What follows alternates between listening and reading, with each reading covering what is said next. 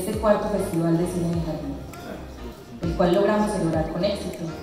Seguimos apostando a un festival que pueda brindarles a ustedes, jardineños y visitantes, un espacio de reflexión y debate, un espacio para conectarnos con el cine, la cultura y la formación de público.